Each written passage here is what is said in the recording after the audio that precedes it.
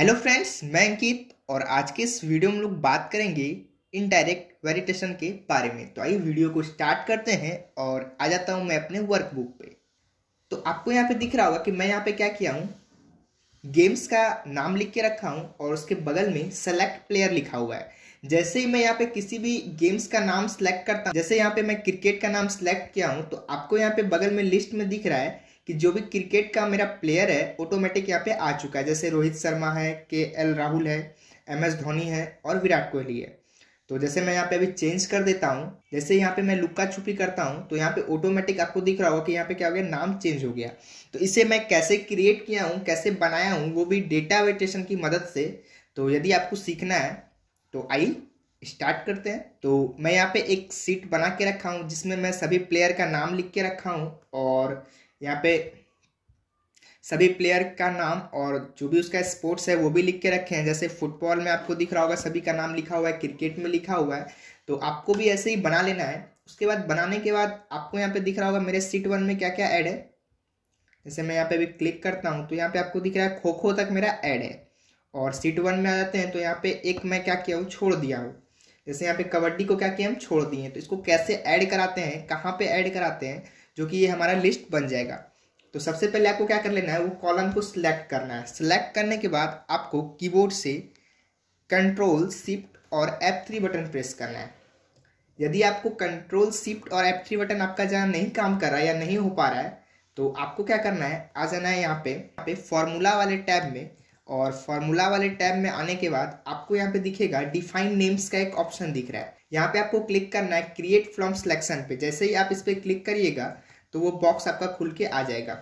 Box खुलने के बाद आपको यहाँ पे सिलेक्ट कर देना है टॉप रो को और ओके कर देना है। तो जैसे ही आप ये कर लीजिएगा, आपको ये करने के बाद आपको आ जाना है यहाँ पे नेम मैनेजर में और नेम मैनेजर में आपका यहाँ पे शो होना स्टार्ट हो जाएगा। तो अभी मैं क्या चीज़ का सेट किया था? कबड्डी का। तो कबड्डी का यहाँ पे आ गया है, आपको यहाँ पे दिख रहा होगा। तो इस प्रकार से आप यहाँ पे ऐड करा सकते ऐड करा सकते हैं। ऐड कराने के बाद आपको आ जाना है आपके जो मेन वाला सीट है, जैसे ये है तो इसे मैं फिर से अभी बनाता हूँ। तो इस दोनों को मैं अभी यहाँ से सिलेक्ट करके जस्ट बगल में यहाँ पे मैं कॉपी कर लेता हूँ। कॉपी करने के बाद आपको क्या कर लेना है कि यहाँ पे जस्ट नीचे में क्लिक करना है और उसके बाद आपको आ जाना है डेटा वाले टैब पे। डेटा वाले टैब पे आने के बाद आपको आ जाना है यहाँ पे राइट साइड में डेटा वेजिटेशन दिखेगा, डेटा वेजिटेशन पे क्लिक करना है और क्लिक करने के बाद आपको क्या खुल जाएगा? डेटा वेजिटेशन का यहाँ पे पॉपअप मेन्यू खुल जाएगा। उसके बाद जहाँ पे आपको अलाउ में एनी वैल्यू दिख रहा है, उस पर क्लिक करना है। क्लिक करने के बाद आपको यहाँ से चूज़ कर लेना है लिस्ट लिस्ट चूज़ करने के बाद आपको नीचे सोर्स का ऑप्शन दिख रहा है। सोर्स पे क्लिक करना है और सोर्स पे क्लिक करने के बाद आप जिस सीट में बना के रखे हैं पूरा डेटा को उस सीट में आ जाना है और जो भी आपका यहाँ पे स्पोर्ट्स का नाम है स्पोर्ट्स का नाम को सिलेक्ट कर लेना है। सिलेक्ट करने के बाद आपको ओके कर देना है। ओके करने के बाद आपको यहाँ पे दिखेगा कि यहाँ पे क्या हो चुका है। सारा स्पोर्ट्स का नाम आ चुका है। और उसके बाद यहाँ पे आपको उसके जस्ट बगल में दिख रहा है क्या? कि यहाँ पे दिया हुआ है सिलेक्ट प्लेयर तो पहले मैं यहाँ पे एक सेलेक्ट कर लेता हूँ स्पोर्ट्स को। और उसके बाद आपको इस पूरे कॉलम को सिलेक्ट कर लेना है। सिलेक्ट करने के बाद आपको कीबोर्ड से प्रेस करना है। अल्ट ए और दो बार वी प्रेस करना है। आपका क्या होगा, यहाँ पे डेटा वेटेशन का एक ऑप्शन खुल जाए खुलने के बाद आपको यहाँ से चूज़ करना है लिस्ट लिस्ट चूज़ करने के बाद आपको यहाँ पे सोर्स दिख रहा है। सोर्स में आपको कोई डेटा को सेलेक्ट नहीं करना है। आपको यहाँ पे एक फॉर्मूला डालना है। फॉर्मूला क्या होगा? इज़ इक्वल टू इनडायरेक्ट इन लिखना है और डायरेक्ट लिख देना है। इनडायरेक्ट लिखने के बाद आपको ओपन ब्रैकेट देना है और ओपन ब्रैकेट देने के बाद आपका जो भी क्रिकेट जैसे मेरा यहाँ पे अभी सिलेक्ट गेम में क्रिकेट है तो आप क्रिकेट दे दीजिए, यहाँ पे जो भी है उसको क्लिक कर देना है सेल एड्रेस को। और क्लिक करने के बाद आपको यहाँ पे दिख रहा है कि यहाँ पे डॉलर ओके आ चुका है तो आपको उसके बाद क्लोज ब्रैकेट देना है और ओके कर देना है।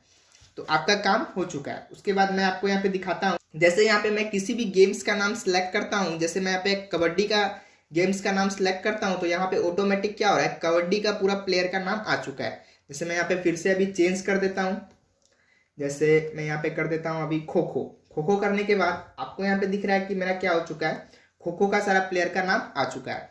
तो इस प्रकार से आप इसको क्रिएट कर सकते हैं। बट आपको यहाँ पे मेरे पिछले वाले सीट में यहाँ पे दिख रहा है कि जो भी मैं यहाँ पे स्पोर्ट्स का नाम लिया हूँ, आपको ऐसे यहाँ पे लुका छुपी दिख रहा है। तो लुका छुपी में क्या कि जहाँ पे स्पेस देना था, वहाँ पे मैं क्या दिया हूँ? अंडर स्कोर आपको भी अंडर स्कोर यूज़ करना है। नहीं तो क्या होगा? आप स्पेस यूज़ करिएगा तो वहाँ पे आपको दिक्कत होगा।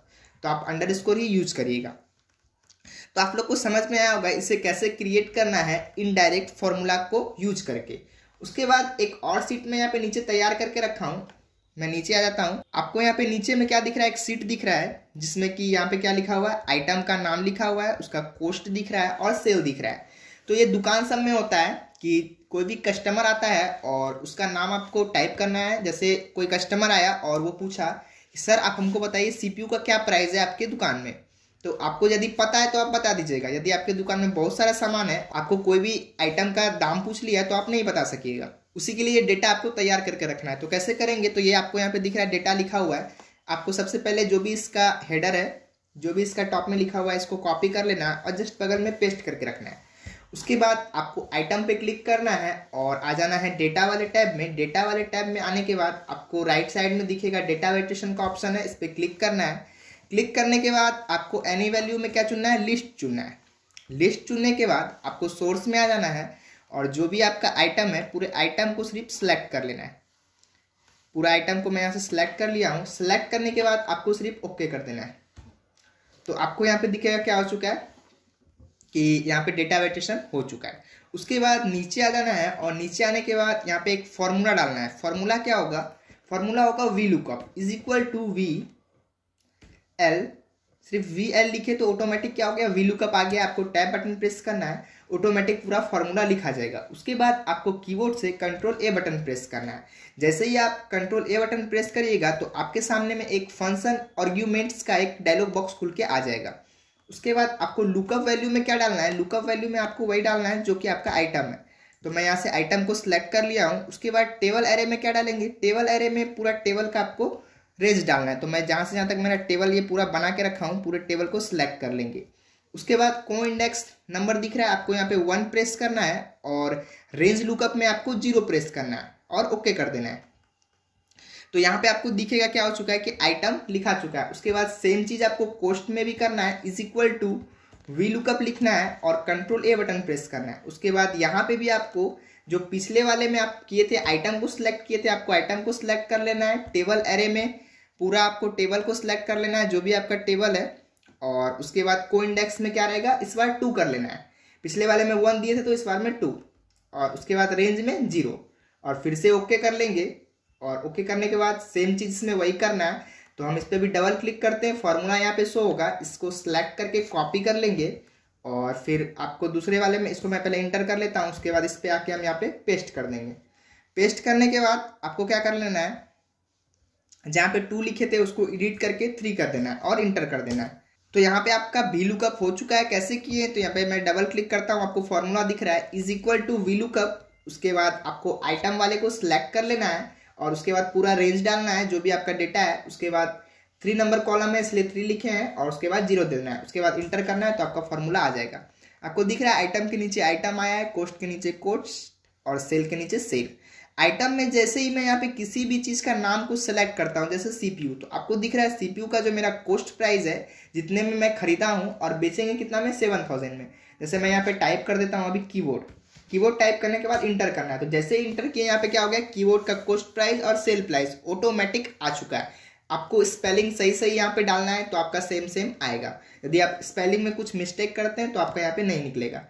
तो आप लोगों ने सीखा होगा कैसे मैं यहाँ पे डेटा वेटेशन का यूज़ करके इस चीज़ को बनाया हूँ और कैसे ये काम कर रहा है तो आप भी बना सकते हैं। तो आप लोगों ने इस वीडियो में सीखा कैसे हम लोग इनडायरेक्ट फॉर्मूला का यूज़ करके ये ऊपर वाला जो मैं अभी यहाँ पे बना के सिखाया था, ये कैसे बनेगा और उसके बाद वीलू का फॉर्मूला को कैसे यूज़ करके मैं अभी ये वाला आपको बना के सिखाया हूँ, दिखाया हूँ और आप लोगों ने सीखा होगा इस चीज़ को तो यह वीडियो आपको बहुत पसंद आया होगा तो थैंक यू